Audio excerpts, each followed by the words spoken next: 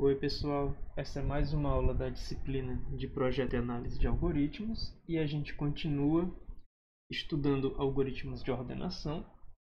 Dessa vez a gente vai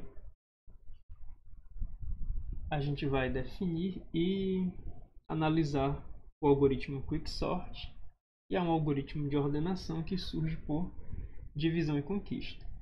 Vocês já devem estar familiarizados com o algoritmo Quicksort de outras disciplinas, como estruturas de dados. Mas aqui a gente vai fazer uma análise mais detalhada da sua versão randomizada. Tá bom? Então vamos começar é, descrevendo brevemente como se dá o Quicksort. Pois bem, no Quicksort existe a seleção de um elemento pivô no array que deve ser ordenado. Durante a fase de divisão, o array a ser ordenado é dividido em duas partes: os elementos que são menores ou iguais que o pivô e os elementos que são maiores que o pivô. Durante a fase da conquista, cada uma dessas partes é ordenada e, por fim, não, há, não existe nada que precise ser feito para combinar as essas partes ordenadas, já que o pivô se encontra à frente de todos os elementos que são menores ou iguais que ele e se encontra logo antes de todos os elementos que são maiores que ele. Então, uma vez que, esses, é que essas duas partes estejam ordenadas, o array se encontra na, o pivô se encontra na posição correta e, portanto, o array está totalmente ordenado. Tá bem? Então, uma forma rápida de descrever o quicksort é da seguinte forma. O quicksort recebe um array A e recebe dois índices, indicando que quicksort deve ordenar um subarray que começa no índice P e termina no índice R. Claro que um subarray só é passível de estar desordenado caso ele tenha pelo menos dois elementos, ou seja, caso P seja menor que R. Caso P seja igual a R, o array se encontra com apenas um elemento e não precisa ser ordenado, está trivialmente ordenado.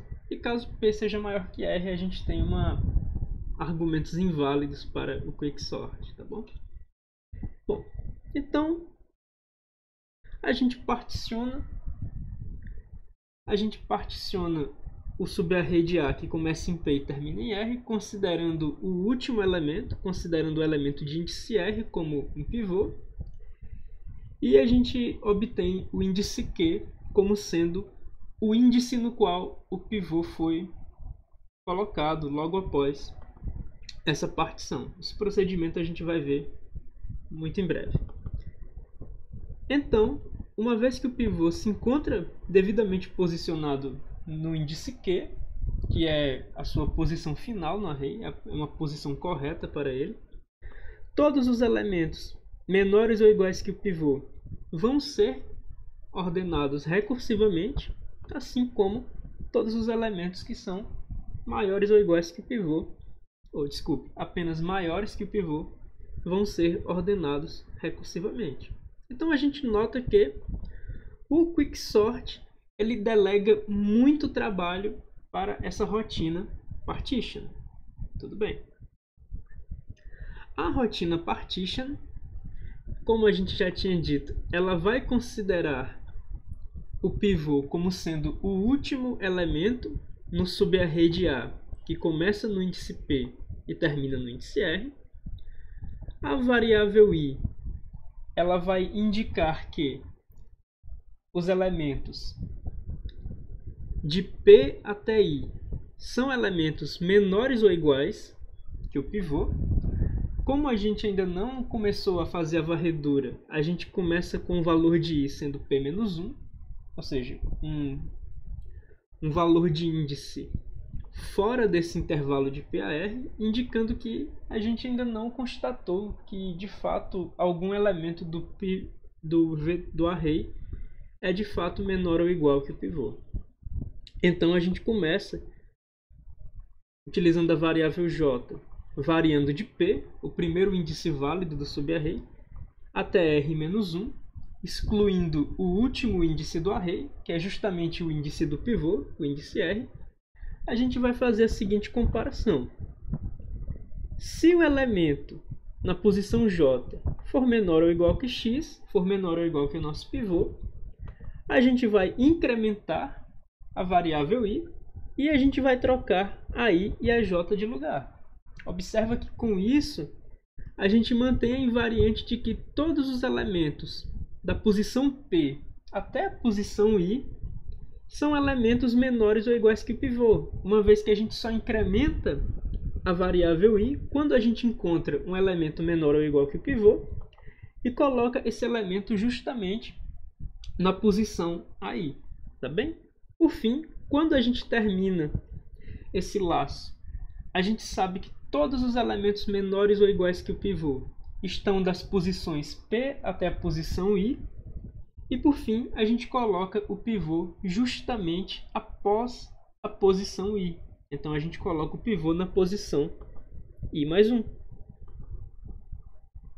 Ou seja, a gente sabe que, após a linha 7, o pivô se encontra na posição I mais 1 e esse é o valor de retorno. Ou seja, partition considera o elemento na posição R como sendo pivô, divide todos os demais elementos entre os elementos menores ou iguais que o pivô e, por eliminação, os elementos maiores que o pivô, coloca o pivô na posição i mais 1, dado, dada a propriedade da variável i, e por fim retorna a posição do pivô.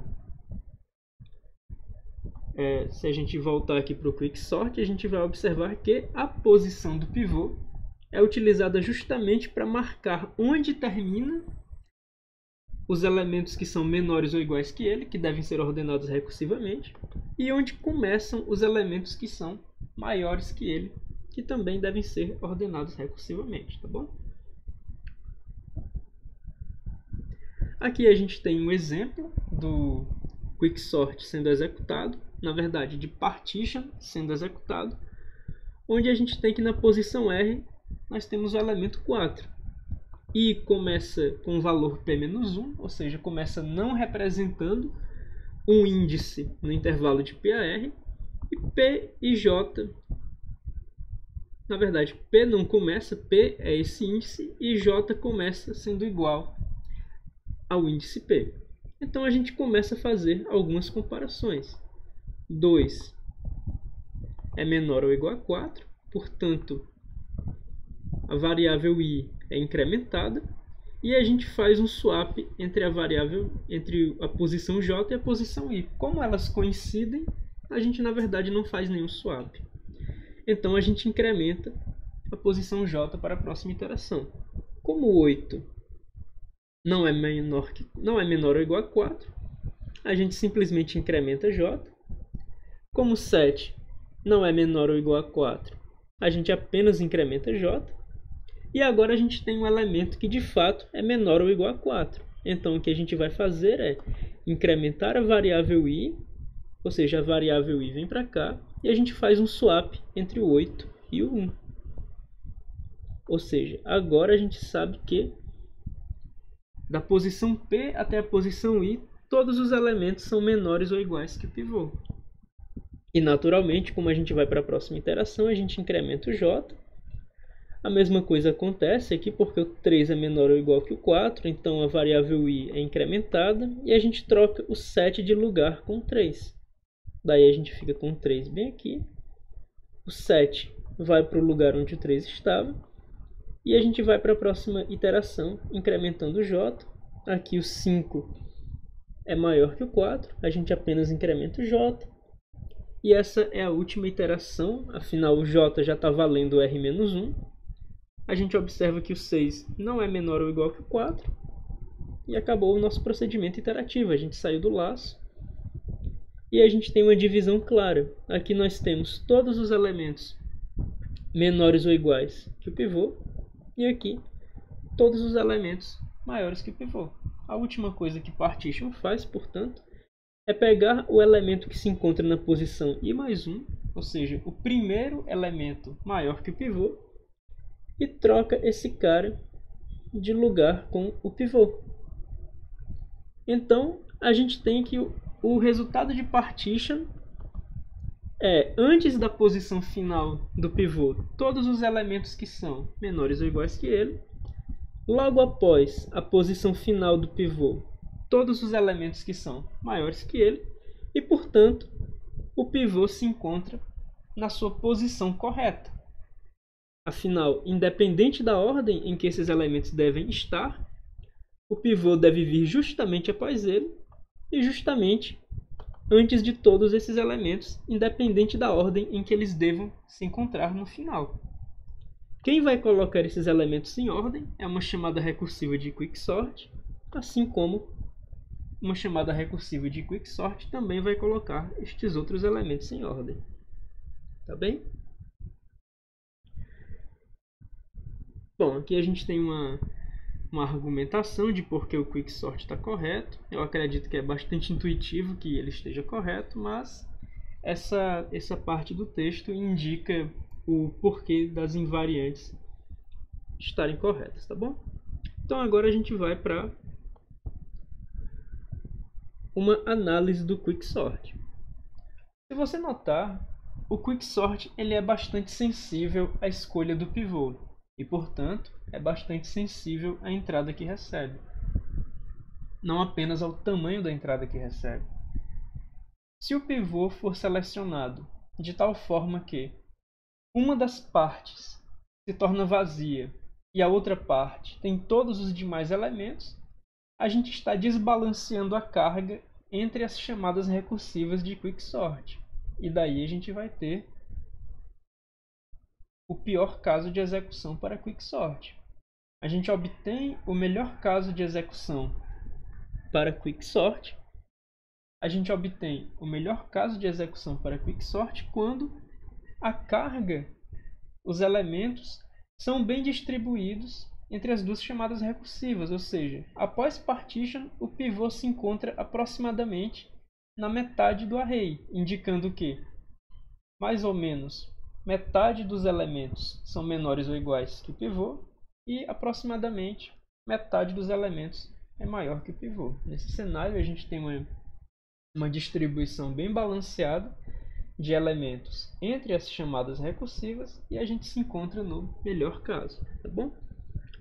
Aqui, para analisar o pior caso, a gente pode novamente utilizar uma relação de recorrência. Admitindo que t de n é o custo de execução de uma chamada do quicksort, a gente pode ver que no pior caso, a gente seleciona o pivô como sendo ou o menor elemento do array ou o maior elemento do array e, portanto, uma das partes fica vazia, seja a parte com os elementos menores ou iguais que pivô ou a parte com os elementos maiores que o pivô. Em todo caso, a chamada recursiva para essa parte vai ser irrelevante, ela vai estar ordenando zero elementos e toda a carga fica a custo da fica e toda a carga fica para a, a outra chamada recursiva, aquela que está responsável por ordenar todos os demais elementos, que são ou menores ou iguais que o pivô, ou maiores que o pivô, com exceção do pivô, naturalmente. Então, a outra chamada recursiva vai estar responsável por ordenar n-1 elementos. E claro, o custo de partition é naturalmente linear, já que partition se comporta sempre da mesma forma, fazendo uma varredura no array, que a gente está admitindo que tem n elementos. Como esse custo é constante, então θ de n acaba por dominar esse custo bem aqui, que a gente pode ignorar. Então, no pior caso, t de n é igual a t de n menos 1 mais θ de n. E o teorema mestre não nos ajuda com isso, porque a gente não tem uma divisão bem aqui.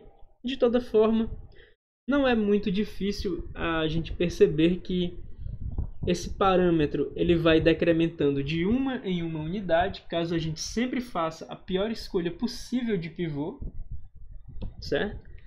E a cada uma dessas iterações a gente vai ter um custo linear, ou seja, para n elementos a gente vai ter um custo n, depois mais n menos 1, depois mais n menos 2 e assim por diante. Portanto, a gente vai ter a soma de uma progressão aritmética da forma 1 mais 2 mais 3 mais reticências mais n.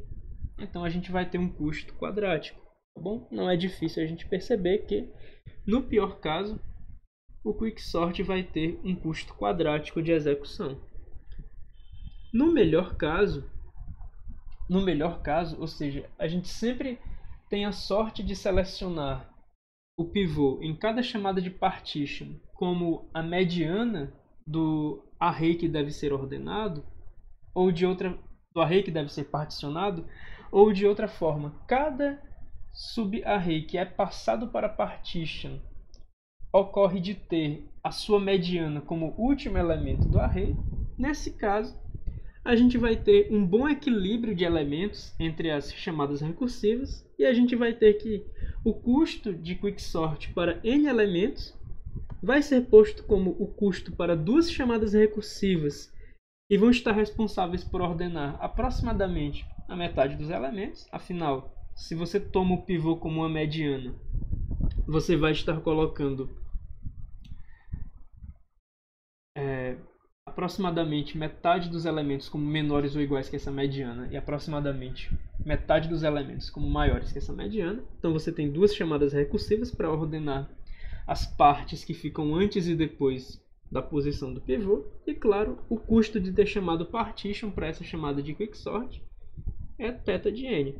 Nesse caso, o teorema mestre nos ajuda porque essa relação de recorrência tem um divisor e um multiplicador. Aqui a gente sabe que o log 2 na base 2 ele é apenas 1. Então, a gente tem que n elevado a log 2 na base 2, n elevado a 1, se encontra em θ de n, e portanto, a gente sabe que a nossa relação de recorrência vai ser simplificada como θ de fn, a nossa função aqui, o nosso termo independente, multiplicado por log n, tá bom? É claro que existem diversas outras escolhas possíveis para elementos. É claro que existem diversas outras escolhas possíveis para pivô.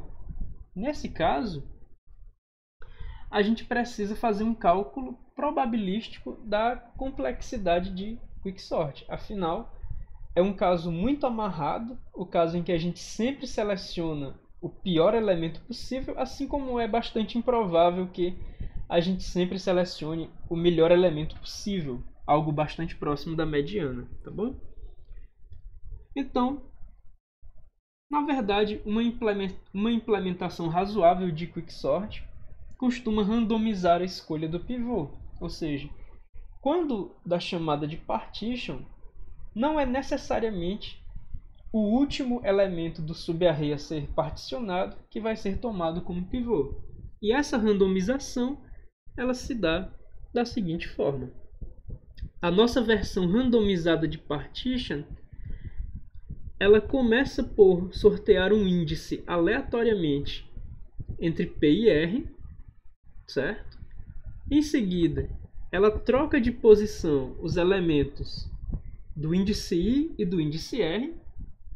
Ou seja, agora o elemento que se encontra no índice R, ou seja, o último elemento desse subarray, tem chance igual de ser qualquer elemento do subarray. E por fim, a gente apenas passa recursivamente uma chamada para partition, ou seja, a lógica de partition é reaproveitada, só que não necessariamente ela vai trabalhar com o pivô que ela iria trabalhar se ela fosse chamada diretamente. Então a gente tem uma escolha aleatória de um pivô que está encapsulando uma chamada para partition. O resultado de utilizar randomized partition a gente chama de randomized quicksort, ou seja, possui a mesma estrutura do quicksort, o mesmo layout, mas agora ele não utiliza partition, ele utiliza randomized partition e faz chamadas recursivas naturalmente para ele próprio, randomized quicksort, tá bom? Então, a ideia de quicksort a diferença entre quicksort e randomized quicksort é apenas na hora de particionar. Antes de começar o procedimento do, de particionamento, antes da chamada de partition, existe uma troca entre o último elemento do subarray de PAR por um elemento qualquer nesse subarray. E aí o procedimento de partition continua normalmente. Então a gente vai fazer uma análise de caso médio do quicksort. A análise de pior caso, até mesmo do randomized quicksort, vai resultar em uma complexidade quadrática, como a gente pode observar da seguinte forma. Quando a gente seleciona um elemento qualquer como pivô, em um array com n elementos, e esse elemento, digamos, é o qésimo menor, a gente vai ter que em uma das partições vão haver q elementos, na outra partição vão haver n menos 1 menos q elementos, ou seja, todos os demais elementos, e a gente também vai ter o custo de ter feito partition para obter essas partições que vão ser ordenadas recursivamente, certo?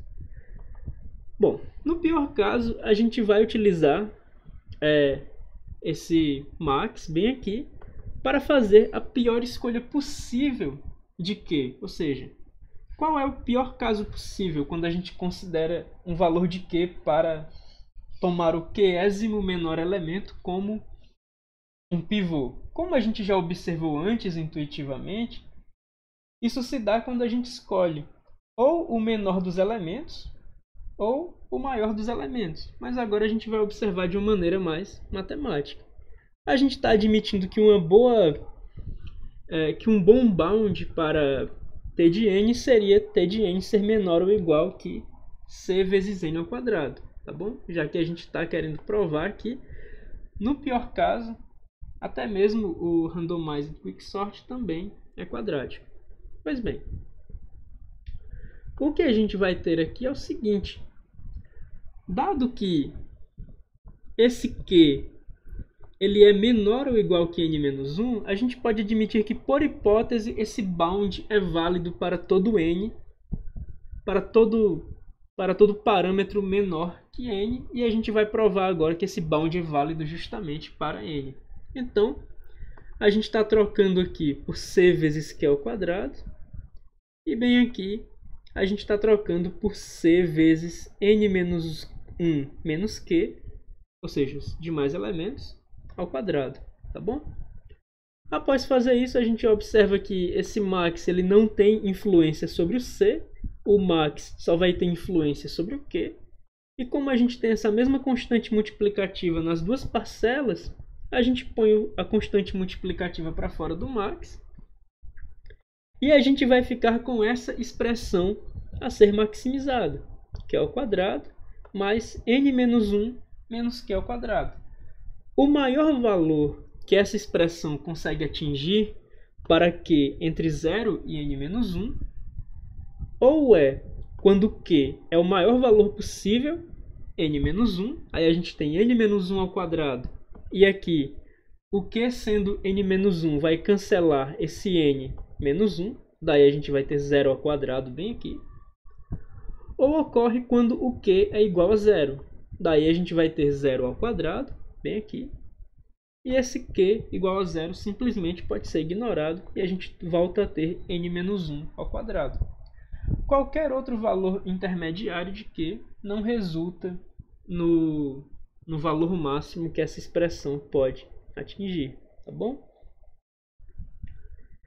Então, sabendo que o valor máximo que essa expressão pode atingir é para uma escolha de Q que seja 0 ou n-1, ou seja, para quando a gente considera que o pivô possui zero elementos menores ou iguais que ele, ou possui zero elementos maiores que ele, a gente sabe que esse max ele sempre vai ser limitado por n-1 ao quadrado, que é justamente o pior caso para a escolha de Q. Daí, A gente sabe que n-1 ao quadrado por produto notável é essa expressão. E a gente vai apenas pegar essa expressão, bem aqui, e substituir por n ao quadrado menos 2n mais 1. Daí a gente vai ter cn ao quadrado menos c que multiplica 2n menos 1. Observa que esse menos com esse menos dá mais, então aqui a gente teria o 2n mais 1, né? só que colocando o menos em evidência, mais θ de n. Então aqui claramente a gente pode observar que esse termo é dominante em relação a esses outros dois termos que são lineares. Tá bem? Em particular, esse termo está até mesmo subtraindo, então a gente poderia considerar apenas esse termo e esse termo. E esse termo, ele naturalmente domina qualquer coisa que seja limitada por cima e por baixo por uma função linear. Então a gente tem que t de n de fato tem um bound de cn ao quadrado. E a gente tem provado que t de n se encontra em O de n ao quadrado.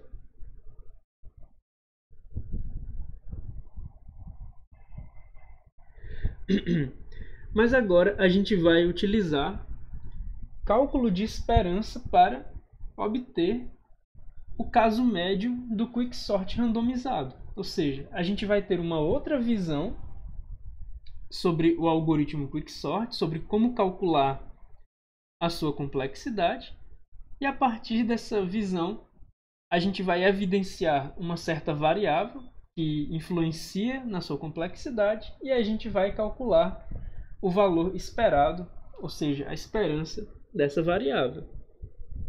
Então, o que a gente precisa observar é o seguinte: a gente vai considerar que x é o número de comparações realizadas na linha 4 de partition. Bem aqui a gente tem o número de operações realizadas, o número de comparações realizadas por partition. Para cada uma dessas comparações, a gente tem, para além do seu próprio custo, uma carga constante de operações. Então, para cada comparação realizada pelo Quicksort, a gente tem uma carga constante de operações. Naturalmente, Partition também faz algumas coisas para além de comparações. E essas coisas que Partition faz para além de comparações têm um custo constante. Então a gente pode observar o seguinte: se x é o número de comparações total realizada por partition, considerando todas as chamadas de partition realizadas pelo algoritmo quicksort, então a gente tem o seguinte: a complexidade de quicksort é O de n mais x. Por quê? Por conta do seguinte: partition, sempre que é chamada, coloca um elemento, o pivô, na sua posição correta. E então o quicksort se torna responsável por organizar recursivamente todos os demais elementos, e em cada chamada recursiva, uma chamada de partition coloca um elemento no lugar correto, e então o quicksort recursivamente vai ter que organizar os demais. Então, é esperado que o número de chamadas que quicksort realiza para, a, para o procedimento partition está proporcional ao número de elementos no array. Ou seja, dado um elemento com n, dado um array com n elementos, é esperado que quicksort chame partition n vezes. É possível argumentar também que quicksort não executa nada quando é chamado para um array unitário. Ou seja, quicksort chama partition no máximo n vezes. Tudo bem. E a gente vai considerar que, na verdade, no pior caso, até mesmo para arrays unitários, o quicksort performa uma chamada de partition. Então, como partition executa uma quantidade constante de operações e um certo número de comparações, quando a gente considera as n chamadas de partition, a gente vai ter cada uma dessas quantidades constantes de operações sendo multiplicada por, por n das n chamadas. E aqui a gente vai ter o número total de comparações que é realizado por todas as chamadas de partition. Cada chamada de partition realiza uma certa quantidade de operações. Quando você considera todas elas, a gente tem a variável x, tá bem? Então, o lema 7.1, o lema 7.1 nos dá uma forma de observar a complexidade do quicksort, colocando em evidência o número de comparações que são feitas durante a execução do quicksort, ou seja, considerando cada uma das chamadas de partition. E essa complexidade é O de n mais x. O que a gente gostaria de fazer, então, é uma forma de decompor essa variável x, ou seja, o número total de comparações realizadas, em algumas variáveis menores, algumas variáveis mais simples de nós entendermos. E utilizando essa relação entre a variável x e algumas outras variáveis mais simples, podermos calcular a esperança de x e, portanto, a complexidade do caso médio de quicksort. Então, o que a gente vai fazer é considerar todos os elementos do array como se eles estivessem já ordenados, mas para isso a gente não vai modificar o array, a gente vai colocar esses elementos ordenados dando outro nome para eles. Dessa vez a gente vai chamar eles de Z, ou seja, os elementos Z1, Z2 até o Zn são os mesmos elementos do array A, mas dessa vez eles se encontram ordenados, de tal forma que o elemento Zi é o iésimo menor elemento nessa sequência. Uma outra definição que a gente vai utilizar é a definição ZJ. ZJ representa o intervalo dessa sequência de elementos que começa em ZI e termina em ZJ. Então, utilizando essa notação, a gente vai estar apto a ter um entendimento mais adequado de quantas comparações são feitas pelo Quicksort em média, tá bom? Então fica a seguinte pergunta: a gente gostaria de responder de maneira genérica quando que o algoritmo Quicksort compara ZI com ZJ. A primeira coisa que você tem que observar é o seguinte: toda comparação toda comparação realizada pelo Quicksort envolve um pivô, certo? Então, para que ZI e ZJ sejam comparados entre si, é preciso que ou ZI seja escolhido como pivô, ou que ZJ seja escolhido como pivô. Quando ZI é escolhido como pivô, ele vai ser comparado com ZJ. Será? Nem sempre. Vamos imaginar que todos esses elementos, os elementos de Z e J, se encontram em uma mesma partição que foi construída por partition. Então, numa chamada recursiva de quicksort, todos esses elementos, desculpe, numa chamada recursiva do randomized quicksort, todos esses elementos têm igual chance de serem escolhidos como pivô. Ocorre que, se a gente escolher o ZI como pivô, o ZI naturalmente vai ser comparado com todos esses elementos, inclusive com o ZJ. A mesma coisa vale para o ZJ.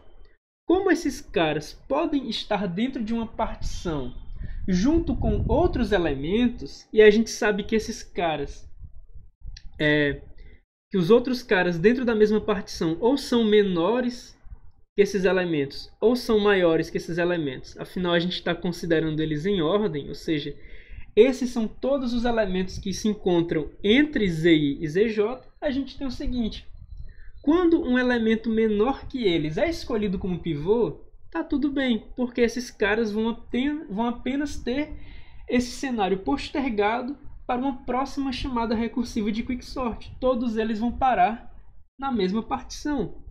Quando um elemento maior que eles é escolhido como pivô, tá tudo bem também, afinal, todos esses caras vão ser menores que o pivô selecionados, vão ser todos colocados numa mesma partição, e esse cenário vai ser apenas postergado para uma outra chamada recursiva.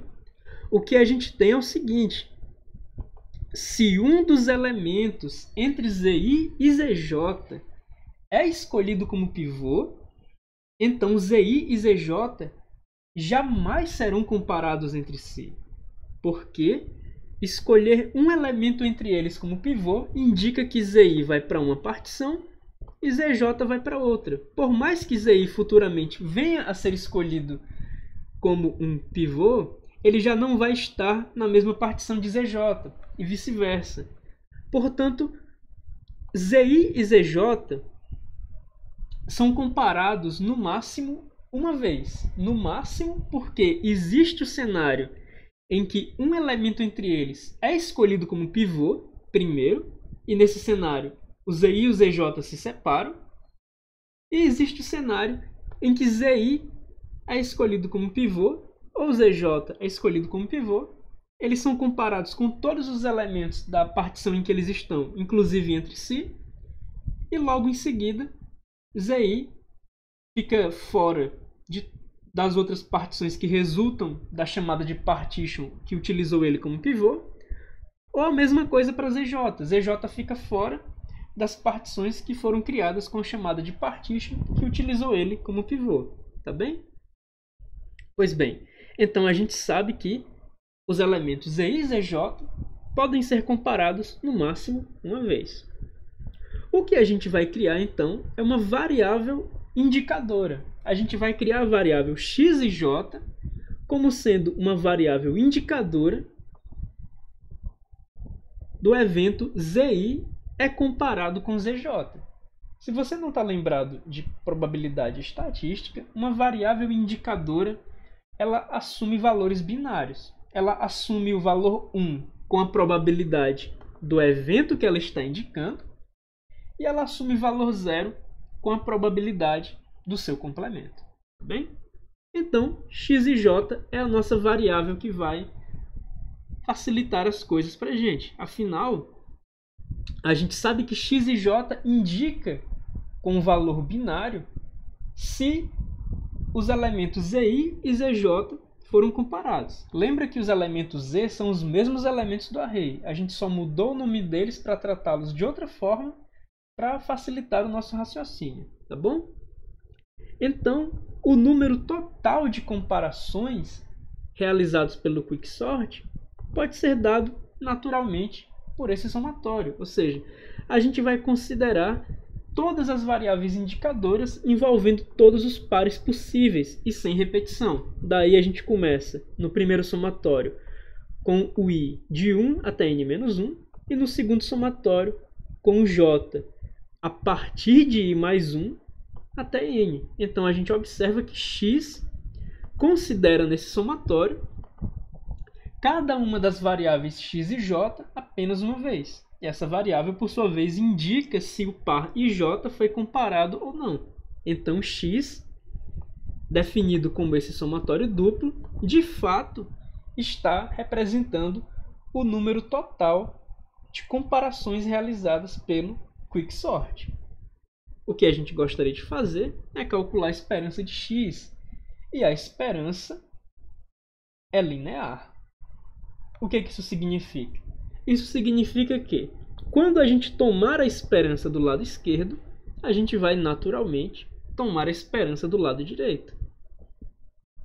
Bom, quando a gente toma a esperança dessa expressão, isso aqui são apenas um monte de parcelas sendo somadas. E a gente sabe que a esperança de A mais B, dada a linearidade da esperança, é igual à esperança de A mais a esperança de B.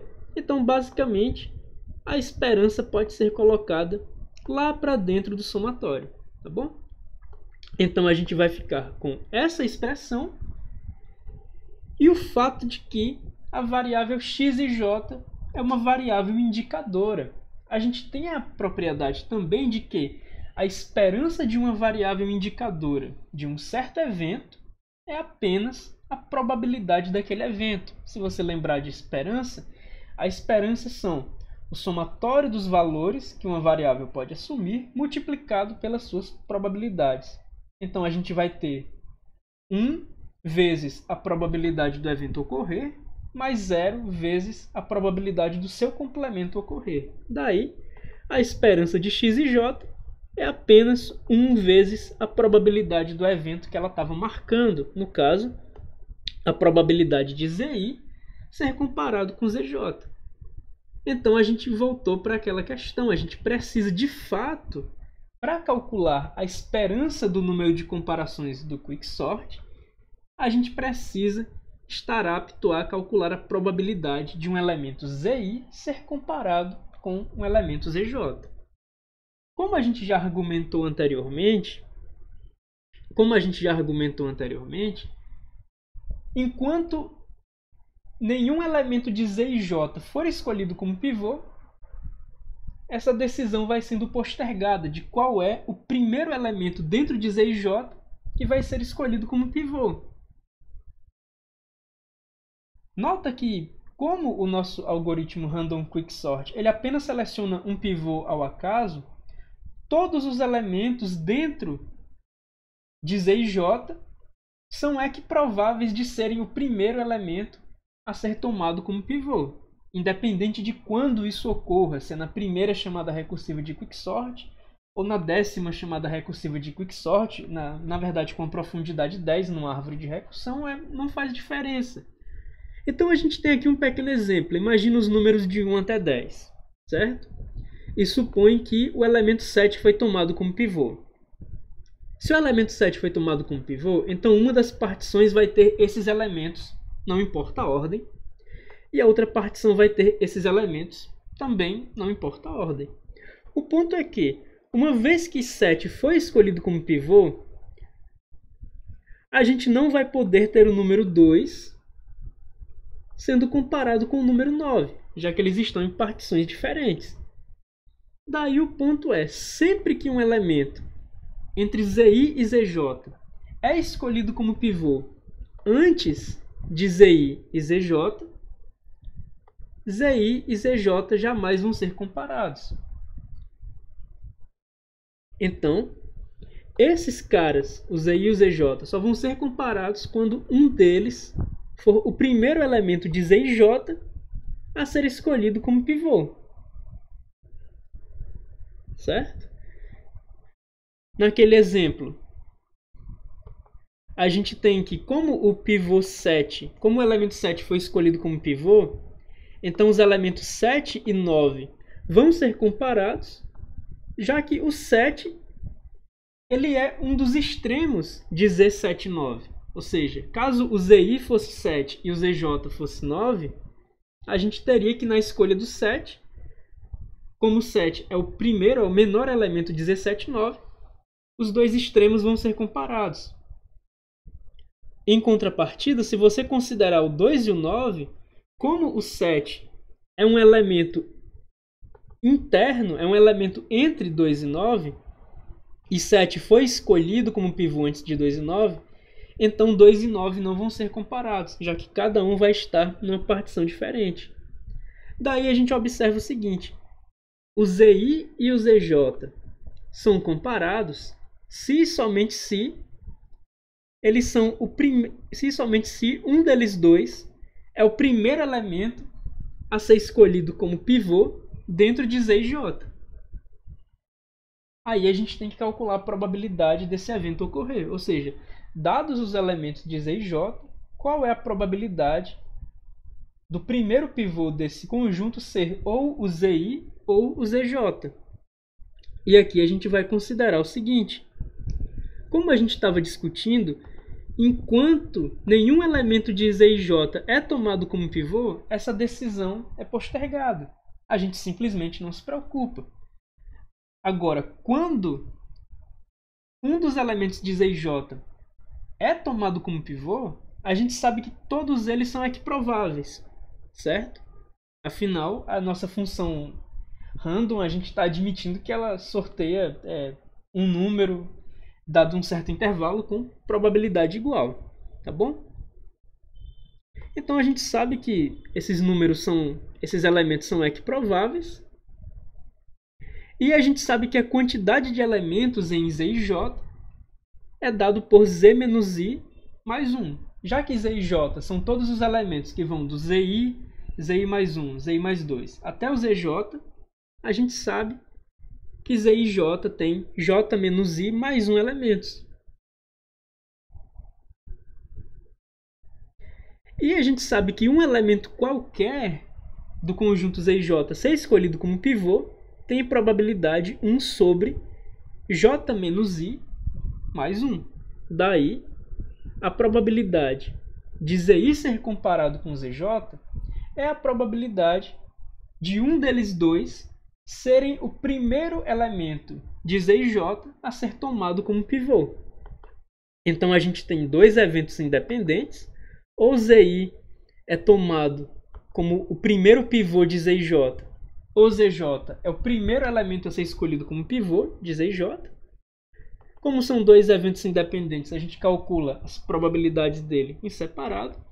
E como a gente já argumentou, dada dado que qualquer elemento de Z e J é, é equiprovável como ser o primeiro elemento a ser escolhido, então a gente sabe que essa é a chance do ZI ser o primeiro elemento de Z e J a ser escolhido, e essa é a chance do ZJ ser o primeiro elemento de Z e J a ser escolhido como pivô. Essa soma resulta nisso, 2 sobre J menos I mais 1. E agora a gente pode finalmente voltar para a esperança de x, afinal a gente sabe que a esperança de x vai ser dado por essa fórmula e a gente já consegue colocar isso de uma maneira numérica. Então, a gente sabe que a esperança de x é aquele somatório duplo onde a probabilidade já foi devidamente calculada. O que a gente vai fazer para facilitar a nossa vida é uma mudança de variável. j menos i é bastante complicado, então a gente vai chamar j menos i de k. Quando a gente chamar j menos i de k, a gente vai fazer uma mudança também nos índices desse somatório. Esse i vai passar para a esquerda, aí a gente vai ficar que j menos i é igual a 1, então k é igual a 1. E quando j é igual a n, a gente sabe que j menos i é igual a n menos i. Então a gente toma a nossa expressão e vai fazer as substituições. J menos I por K. Aqui a gente passa o I para a esquerda, a gente fica com J menos I é igual a 1. E quando J é igual a N, J menos I, que é o K, é igual a N menos I. O que a gente observa então é que se a gente tirar esse mais 1 do denominador, a gente vai ter parcelas que são divididas por denominadores menores. Portanto, se a gente tirar esse mais 1 do denominador, a gente vai ter necessariamente parcelas maiores. Portanto, essa expressão é menor que essa outra expressão aqui, justamente por essa expressão ter parcelas maiores. Afinal, o denominador é um pouquinho menor, tá bom? Aqui a gente vai observar o seguinte: isso é a sequência harmônica multiplicada por 2. Na verdade, pondo mais formalmente, isso é a soma da sequência harmônica até o enésimo elemento multiplicado por 2. Se você não sabe, o apêndice do Cormen ele mostra para você que a sequência harmônica a soma da sequência harmônica até o enésimo elemento é limitada por log de n. Então, a gente sabe que duas vezes a soma da sequência harmônica até o enésimo elemento é visto como duas vezes um limite dado por algo como log n. Então a gente sabe que esse somatório ele é duas vezes O de log n e, portanto, esse somatório é O de log n.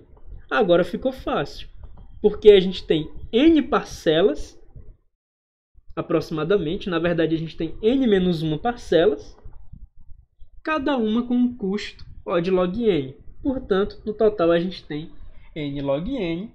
E assim, a gente calcula que o custo aproximado do caso médio do quicksort pode ser computado como a esperança do número de comparações que o quicksort realiza, dado que dado que a gente tem esse lema bem aqui, ou seja, a gente toma uma perspectiva diferente para fazer a análise do algoritmo.